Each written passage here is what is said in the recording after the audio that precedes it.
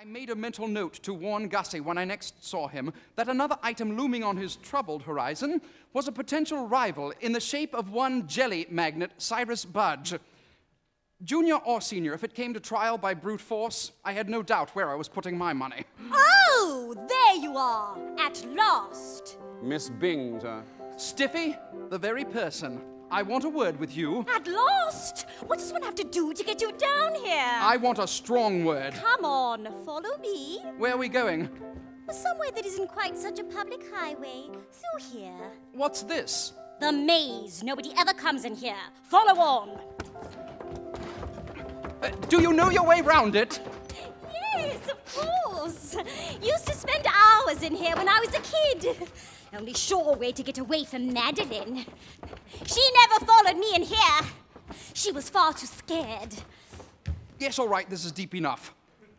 Now listen. What I have to say to you, Stiffy, can be said very briefly. I do not take kindly to having our engagement announced in the Times. I have never proposed to you, and I don't intend to. Save your breath. There's someone else anyway. Who?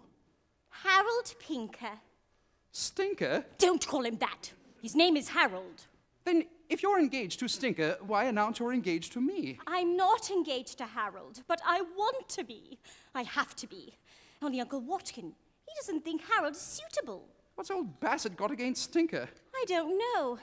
He says Harold's got no money and he breaks everything. Well, he's absolutely right, of course. Stinker's a one man tornado. He's not. He's just shy, and when he gets shy, he gets Destructive. accidentally destructive. And if I can't marry him, something else will get broken. Only this time, it will be my heart. Oh.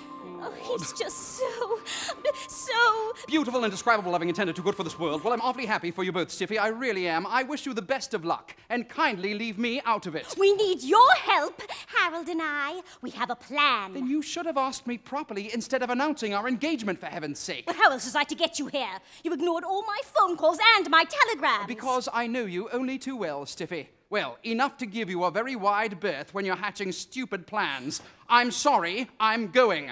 Goodbye, he said firmly. You'll be sorry if you do, Bertie. Not half as sorry as if I stick around here. You know me, Bertie.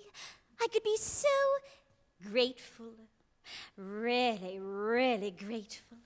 A good friend forever. Wouldn't that be nice? I'm not too sure.